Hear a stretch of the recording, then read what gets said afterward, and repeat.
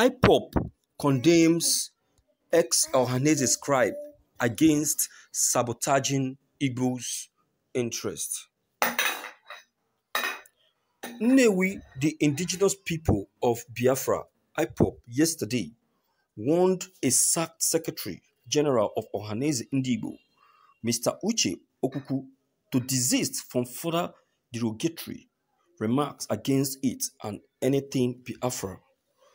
The pro-Biafran group, in a statement by its coordinator in Iguacha, River State, David Njoko, and made available to newsmen by IPOB Media and Publicity Secretary Emma Powerful, warned Okwukwu to henceforth desist from making derogatory remarks against Biafra and IPOB or be ready to account for his sins on the day of reckoning.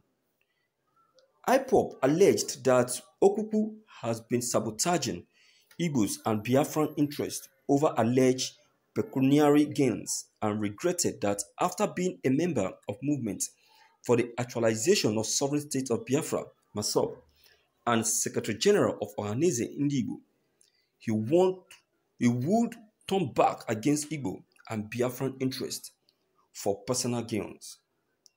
It said Okwukwu is too tiny, too irrelevant, even in Iguacha to face IPOB, and we don't want to dignify him by joining issues with him. We only want him to remember that there is always a day of reckoning for every man and his paymasters will disappoint him. Okwukwu stood as a witness some years back for federal government of Nigeria against his fellow MASSOB members in the Federal High Court, Abuja.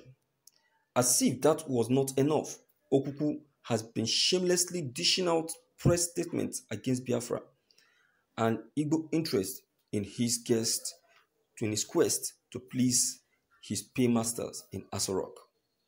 IPOB family in Iguacha has observed with utter dismay how a sacked Ohanaeze Secretary General, Mr. Uche Okwukwu, has made himself a willing tool in the hands of the enemies to sabotage Igbo and Biafra interests because of pecuniary gains. It is rather shameful that somebody who once prided himself as a MASSOB member and the Secretary General of Ohanaeze Ndigbo will suddenly make himself a slave to his masters to sabotage his own tribe for a piece of bread. We want to place it on record that Okwukwu has officially been sacked by the leadership of Ohanaeze Ndigbo and should stop talking about anything concerning Ohanaeze Ndigbo and IPOB. Thank you for listening to this news. Well, um, Nigerians, um, my fellow Biafrans, I want to urge us not to bother ourselves on the issue of Okwukwu. To me, Okwukwu is is nothing. Is nothing in the Republic of Biafra. Let's not be bothering ourselves on something that we know that cannot even hurt even the least person in, in, in Biafra. Okwukwu should be should be should be equated should be equated to the least the common Biafran that we have in the southeast. It should not be. It should. It should not. His, his wealth or his his um, contest should not be considered in the midst of in the midst of um, discussions that that warrant that that can that that warrants the that warrants uh, the, the smooth moving of of of whatever that we go that is going on in uh, in Biafran land. Oku's words should not be put into consideration because I have not seen any of his words that are so catching and moving. So let us not bother ourselves or or start boring ourselves concerning his matters. Okwukwu has always been a disappointment and a disgrace to the people of Biafra. He has always been that. If you listen to him talk, you will see that Okwukwu, there is a sense of deceit in the in in his in all of his words.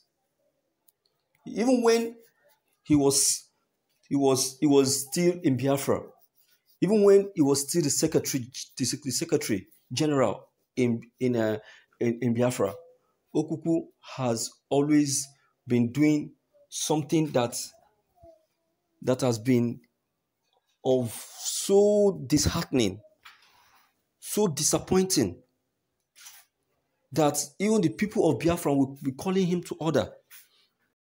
But he will never want to give a listening ear or keep to advice. Okwukwu is already a disgrace. Let's leave him to be to be stepped on. If he has been bribed, that is his own problem. Okwukwu cannot be a thorn on the flesh of the Biafrans. He's too junior. We should not be taking his issue to, to be important because as soon as we start taking his issue to be important I start calling his name here and there, you will see that we start seeing himself to be important and start praising himself. So Nigerian Nigerians should not uh, uh, sorry, um, Biafrans should not take him to be important at all. His name should not even be, be mentioned. If any time he said he says anything about Biafrans, Biafrans should just overlook it and push him aside. Because believe you me, his words cannot be considered in the midst of, of, of prominent Nigerians. His name will not even be mentioned. So what are we putting ourselves on? Let's allow him to exercise his stupidity. Let's allow him to say whatever that comes out of his stupid ideas. Because Biafrans are not interested in him. Biafran, as a republic, has already achieved its goal, just waiting for a date for it to be pronounced. So whether Okwukwu like it or not, Biafran is already at the door of actualization.